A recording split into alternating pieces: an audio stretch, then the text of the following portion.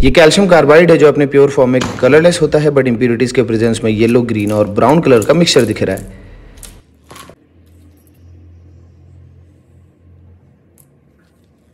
इसके स्ट्रक्चर में present carbide ion में कार्बन के पास नेगेटिव चार्ज होने की वजह से ये वाटर से काफ़ी तेज़ी से हाइड्रोजन एब्स्ट्रैक्ट करके एसिटाइलिन गैस बना देता है which is highly inflammable NCERT में एसिटाइलिन गैस का फॉर्मेशन हाइड्रोकार्बन चैप्टर में सेम इसी रिएक्शन से दिखाया गया है।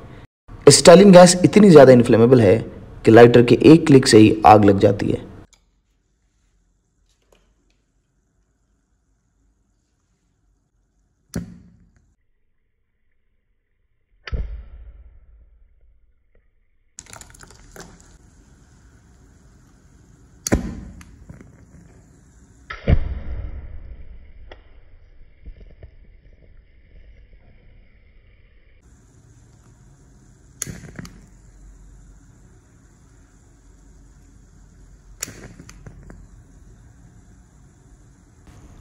मैंने बीकर में फ्लास्क को इन्वर्टेड डाल करके कोशिश की कि इसिटाइलिन गैस को कैच कर सकूँ और फिर इन्फ्लेट कर सकूँ।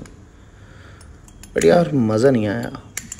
Maybe that C two H two was diffusing very rapidly well better luck next time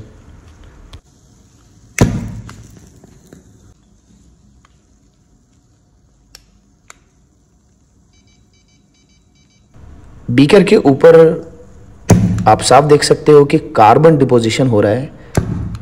जिस C two H two gas को आप कंबशन में जाते हुए देख रहे हो, उससे कार्बन ब्लैक का डिपोजिशन बीकर के इनर सरफेस पर होते दिख रहा है। नीचे ये प्यारा सा वाइट कलर जो आपको दिख रहा है सॉल्यूशन में, वो एक्चुअली कैल्शियम हाइड्रोक्साइड है, जो प्रोड्यूस हो रहा है और धीमे धीमे नीचे बैठने की कोशिश में एक टर्बिडिटी का फॉर्मेशन कर रहा है।